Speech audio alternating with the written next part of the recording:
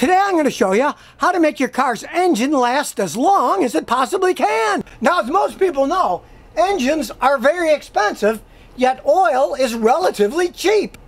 So you want to change your oil frequently, but if you put more than oil in your car, your engine can last longer.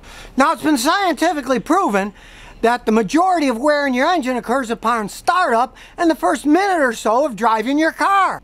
Because when you turn your car off, most of the oil drains down into the sump. So the top of the engine's And When you start it up, you got metal to metal bare contact. Now I have found that oil additives like the Slick 50 can reduce the friction and heat on startups and help engines last longer. Now I know quite a bit about Slick 50 because I'm in Houston where it started. And a friend of mine, Dave, he was one of the original guys in the company. And a few years ago, Dave cashed in for millions moved to Austin and lives in a mansion. And here I am, stuck in my old garage in Houston. Life is just so unfair. I have to give Dave a heads up because he started me using this stuff decades ago. And with my old work Toyota having 239,000 miles on it and still doesn't burn any oil, I do have to say the stuff works. Now don't think I've become some kind of sleazy pitchman selling snake oil. Now this stuff doesn't rebuild your engine while you drive like some of them claim. It reduces heat and friction, it prevents sludge, and it enhances oil durability.